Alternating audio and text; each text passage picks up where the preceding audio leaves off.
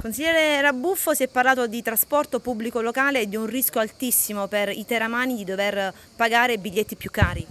Sì, l'incremento del costo sembra sia previsto da quanto ha detto l'assessore eh, proprio perché mano a mano l'appostamento che è stato messo in bilancio per gli anni 2023, 2024 e 2025 va a diminuire è per un totale di circa 500 mila euro ma si prevede proprio l'incremento del costo dei biglietti. Questo mi dispiace perché il primo intervento per il sociale, il primo intervento per una città sostenibile e vivibile è proprio quello di un efficientamento del trasporto pubblico locale. Questo è un problema che esiste da anni in questa città con tanti quartieri, tante frazioni che sono davvero distanti, non si riesce neanche ad arrivare per dire al carcere di Castrogno esiste da tanto tempo e quindi ho chiesto all'amministrazione se avessero fatto delle richieste alla regione, noi saremo a fianco dell'amministrazione per sostenere questo che è un interesse di Teramo, cioè incrementare eh, i contributi dei chilometri per il trasporto pubblico locale serve a tutti i teramani e noi saremo dalla parte dell'amministrazione.